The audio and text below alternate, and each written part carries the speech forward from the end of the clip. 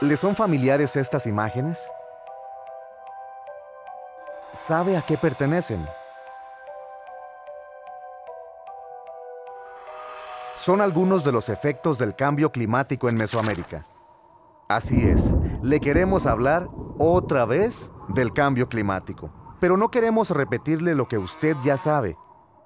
Sabemos que usted es una persona informada, preocupada por los efectos del cambio climático en las comunidades. Quizá hasta sea un funcionario público o un político buscando soluciones. Los efectos del cambio climático afectan al ser humano y sus medios de vida, la naturaleza, la cultura, las personas, las organizaciones sociales, la política, economía y finanzas y la infraestructura es decir, todas aquellas capacidades, habilidades y recursos que necesita una comunidad para desarrollar todas sus actividades. Por eso los seres humanos implementamos proyectos para protegernos del clima y reducir nuestra vulnerabilidad. Pero estas soluciones fallan frecuentemente. ¿Por qué?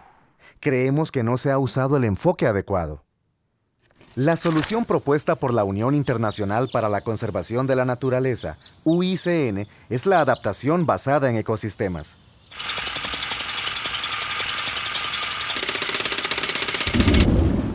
En lugar de construir barreras de cemento para detener el agua, el viento o la tierra, tenemos la opción de aprovechar la infraestructura natural. La adaptación basada en ecosistemas consiste en utilizar la biodiversidad y los recursos de los ecosistemas como una estrategia para ayudar a las personas a enfrentarse al cambio climático, porque en la naturaleza podemos encontrar mejores soluciones. La naturaleza nos provee de infraestructura natural para regular el clima y controlar las inundaciones, además de protegernos de los huracanes y tormentas y mantener la buena calidad de las aguas superficiales y subterráneas. Hay otros beneficios. Las medidas de adaptación basadas en ecosistemas tienen un menor costo económico. Favorecen la capacidad de los ecosistemas y las personas para enfrentarse y recuperarse de eventos naturales extremos. Fortalecen los medios de vida por la protección de los cultivos y viviendas. Además, cualquier comunidad puede implementar medidas basadas en ecosistemas. Ahora bien, si le dimos una buena idea, necesitamos su ayuda.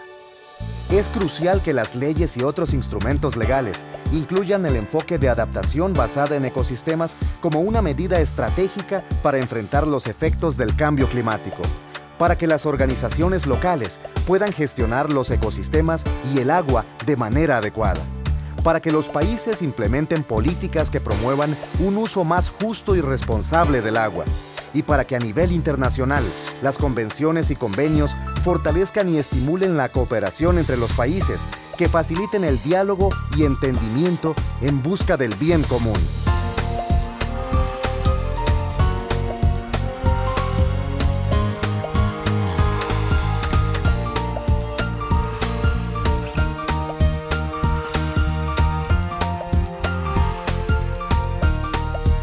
En países como los nuestros, el uso adecuado y la conservación de los ecosistemas nos brindan las soluciones más inteligentes ante los efectos del cambio climático. Así que manos a la obra. Pero natural, ¿eh?